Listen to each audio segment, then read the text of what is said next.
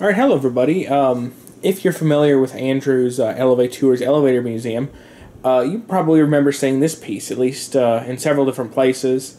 Uh, it's always kind of been sidelined, unfortunately. This is a vintage Otis floor indicator from Sinai Hospital in Baltimore, Maryland. Um, obviously, it's custom with its little custom um, signage, uh, which I think is pretty cool. And um, today uh, I'm going to uh, make a video walking through myself of wiring it up and making it sequence, building a sequencer basically. Uh, this is going to be a pretty interesting project. I have everything I need to do it. But before I do it, I'm just going to go ahead and show you what it looks like in the before stage. You know, and I'm going to be doing it, and then it will show you what it looks like when I'm done. Um, so, let's take it up apart. It's got these um, machine screws holding it in. And check this out. This is pretty neat. It's actually hinged. So this is it on the inside. Um, we have, let me get the camera off the tripod. We have uh, two different light sockets for these, and then we have one light socket for this right here, the actual indicator bit, and then the two for the um, little directory signs. You can tell the one on 3 and 5 have been replaced at a later time because they're white instead of red. Um, these also have little red um, uh, filters in them, which I uh, they did come with. Just get this. Initial, uh, without them, it would just kind of you could see the bulb behind them. Uh, I, I see that a lot in old Otis elevators because this is just a piece of plastic that I'm sure it gets lost very easily. But somehow these were all in place. Well, they weren't in place; they were within somewhere in here. So I just did. I just took some hot glue and put them in to make sure they're not going to back out. And uh, let's see if I could do this. This is what it looks like. That wasn't supposed to happen.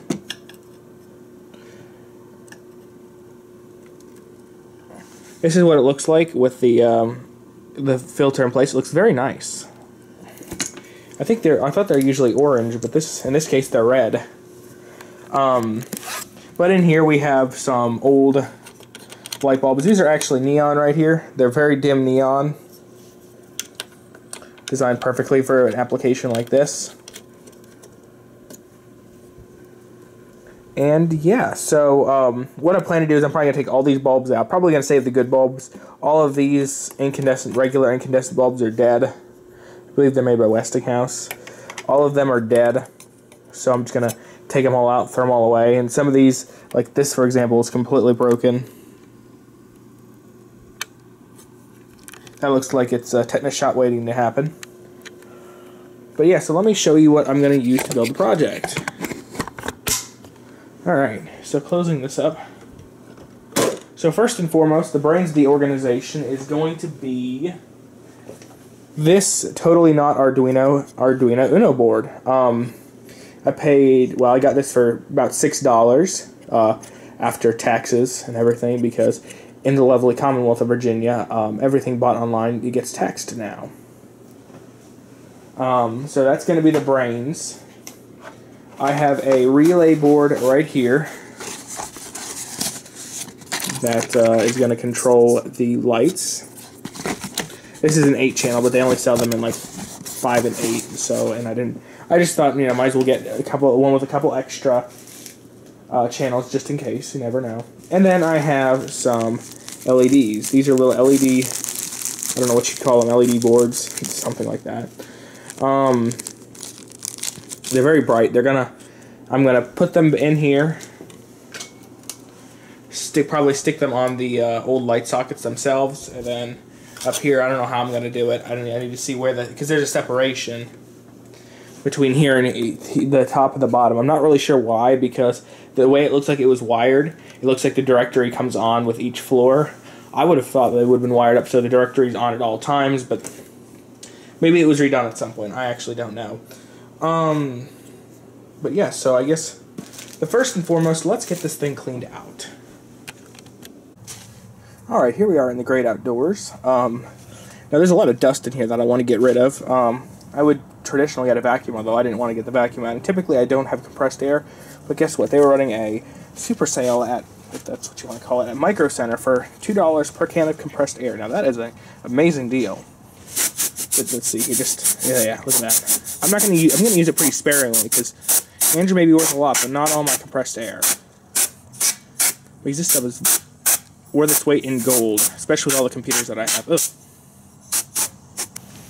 Alright, I think that's just about as good as it's going to get. Now let's clean off the front. Alright, I'm back, and thanks to Super Santa Claus, I mean Super Santa Cloth, um, we're, we're pretty much clean on the front. It looks very nice. Very clean. Um, anyways, so I've already started dabbling around with how I'm going to do things. Despite how big this is, there's actually not a lot of space inside to uh, that I have at my disposal to put the circuitry. I do what I do know is I do want everything to be on the inside and not you know hot glued or something on the outside. So what I've done so far, by the way, this is how it's going to look uh, with these with the LED light. It's very bright. Um, I was very, I mean. I had a light similar to this that I tried to put in my car one time. They were nowhere near as bright as this. Like, look at this. Oh, it's blinding. Oh, that's really horrible. Um, but yeah, so there's the little module right there. And so I plan to have the Arduino Uno board right there on the on the on the bottom. And I'm going to have the uh, relay board. I'm going to have it obviously turned around. I'm going to have it right here. Obviously, I'm going to have the uh, the bottom of these taped up so that nothing gets shorted out that's how that's what I plan to do, and uh, if everything goes well, it should just close right and fine.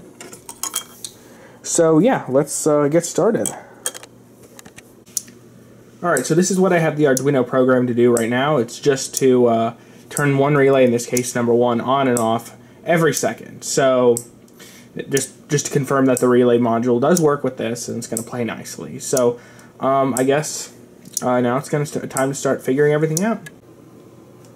Alright, so I think I have a pretty good basis as to how I'm going to do this. I have the relay board here already uh, wired up with all the positives, and um, I am going to be running using this Ethernet cable. But I have a nicer cable, but you know, Andrew's worth a lot, but not that much. Well, it wasn't that expensive, but I had this Ethernet cable laying around that I need to use anyway, so I'm just going to use that. And um, yeah, so here's the um, the boards that I'm using. Um, what I have the what I have been doing is taking in each package you see you get a couple of different connectors because these are supposed to go in cars so they give you um, some attachments so you can get put them into your car as some sort of retrofit replacement. And let's see I've been taking this one right here. Oh, there goes the other one. I'm gonna have to pick that up because I have to show you why I'm not using this one. So I've been clipping the ends off these just so I have an extra lead and it can be taken off in the event that it doesn't work. I initially pulled this one off, but this is really stiff wired. I don't know why these are so stiff. You can see like it just bended. So I don't really like that. So that's why I'm just using these right here. So I have the first set of connectors already uh, attached just directly to the relay board. I'm not going to be messing around with some extra wire if I don't need it. And uh, to attach each um, to attach each thing together, I'm going to try out these Scotch locks. Or, well, these aren't actually Scotch locks, but basically Scotch locks. I'm going to try these and see if these will work. They only have provisions for two wires, but I think I'll be able to slide three in there and see if that works. So yeah, um, let's go. Alright, so I have the first uh, number, well, the second number done. The first one is just being attached directly to the relay board, as I said. Um, I'm going to make sure that these Scotch locks are providing good contact, and uh, if uh, it works, then we're going to just keep going. So right now I have the Arduino program to just do, um, turn them all on and all off at the same time. Here we go.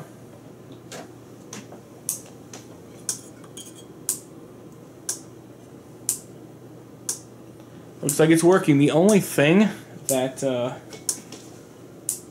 I Okay, so it looks like what I did was I accidentally...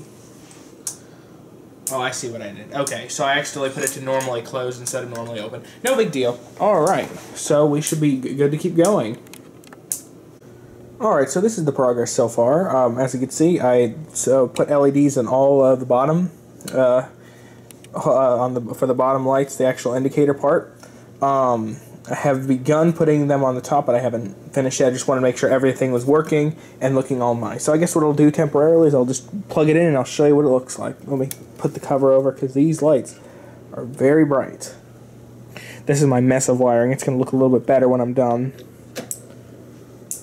So this is it so far.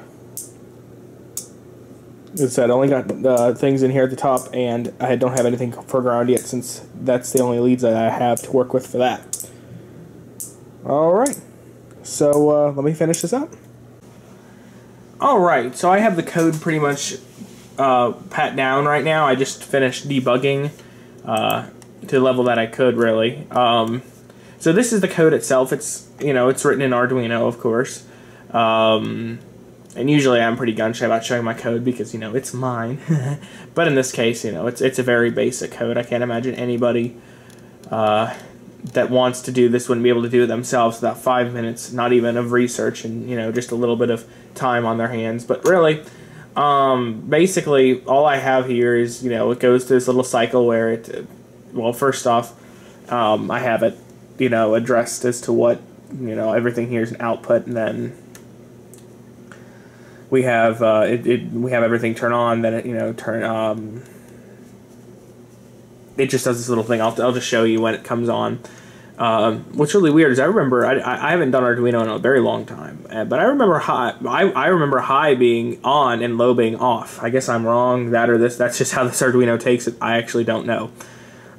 All right, but I am basically done, and I'll show you what it looks like when it's turned on. Alright, so here it is all done. Um, for the most part, it looks pretty good. This corner over here is not that great, but that's just because there's only so much that I could do with it. I mean, I didn't have much room to play with, so here's each LED module. These are very bright, by the way. I'm sure I mentioned that, but man, they are definitely bright. These have definitely done the trick, these little uh, fake scotch locks. A little difficult to get all three wires in, but I certainly got there in the end, and they, everything works just fine. Um, everything's all safe and stuff. Here's the Arduino board under here um, with this uh, module attached to the uh, USB port on the top. So, you know, it's still accessible, but you know, not very easily. You kind of do a little bit of finagling to get the USB port in. But then again, I'm I don't I really don't expect to have to reprogram this. All right, so I guess let's go ahead and close this up. Oh, by the way, this can be a little bit difficult when it comes to closing up. So I got to be careful not to, you know, break anything because that would be a big problem. But it looks like it's done, so let's go ahead and plug it in. We'll get it on the tripod, the camera on the tripod first. You know, I'm sure all y'all would love to see it doing its thing. Well, actually, I have a better place for this. Alright, so uh, here's a much better angle. Um, so I guess here we go. Let's plug it in.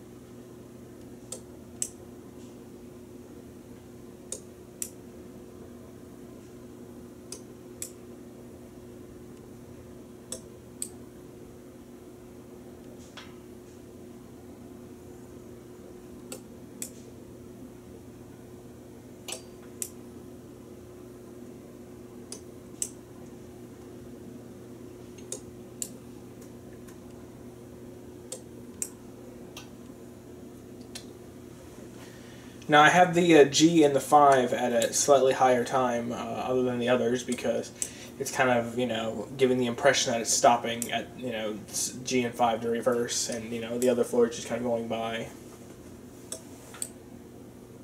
But yeah, I think it actually turned out pretty good.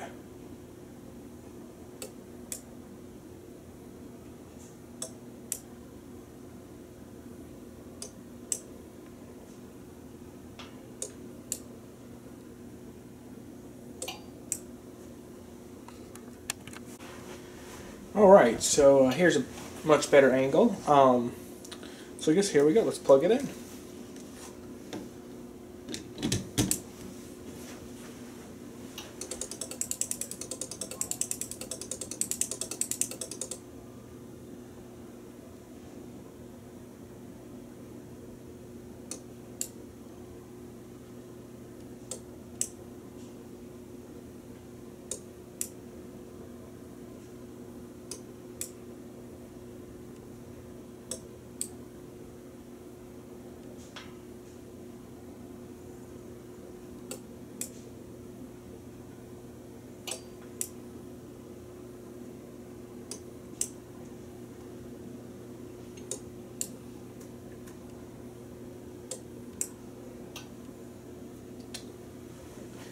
Now I have the uh, G and the 5 at a slightly higher time uh, other than the others because it's kind of, you know, giving the impression that it's stopping at, you know, G and 5 to reverse and, you know, the other floor is just kind of going by. But yeah, I think it actually turned out pretty good.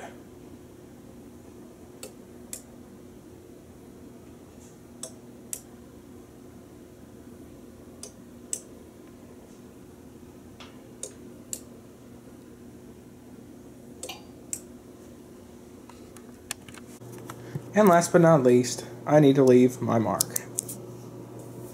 Alright, thank you very much for watching, and that'll be it.